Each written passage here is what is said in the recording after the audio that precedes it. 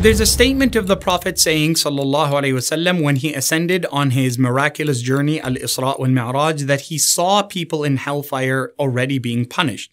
Does this mean there's already people in hellfire right now? Alhamdulillah wa salatu wa salamu ala Rasulillah sallallahu alayhi wa sallam wa ba'd. Al-Isra wal Mi'raj is from the matters of al-Ghaib. It's from the unseen. And we can only speak of it from what we understand from the words of the Prophet ﷺ and not go past it. I know sometimes we want to know what the inner meanings of things are, but I do caution you of that. Part of your belief is to submit that there are things that we know and things that we can see that are tangible and other things that we don't know and can't see.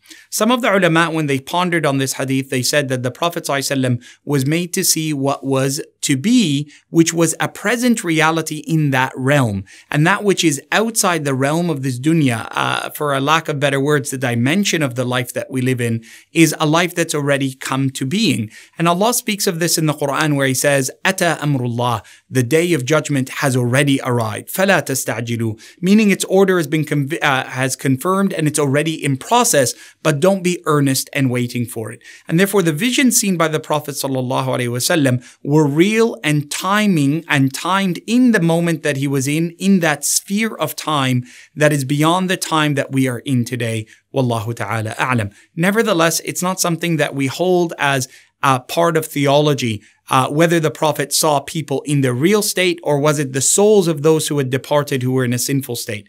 As a part of your aqidah, we believe in the punishment of the grave.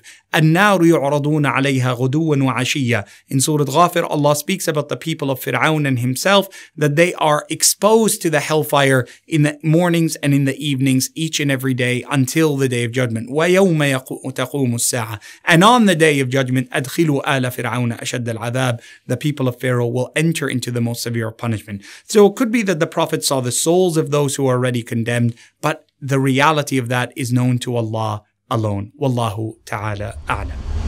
Subscribe to this channel, share this video, and click on the bell icon so that you can be notified with every new video at Faith IQ. Jazakallah khairan. Wassalamu alaikum wa rahmatullahi wa barakatuh.